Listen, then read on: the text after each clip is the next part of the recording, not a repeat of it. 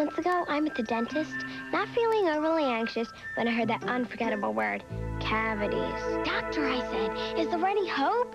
Mandy, he said, you gotta brush twice a day the right way. If your child brushes every day for six months with Crest, the dentist's choice, their next checkup will be great. And we're so sure you'll be satisfied, we'll give you a money-back guarantee. So I brushed with Crest, and I'm sitting pretty. Crest, great checkups in six months, guaranteed.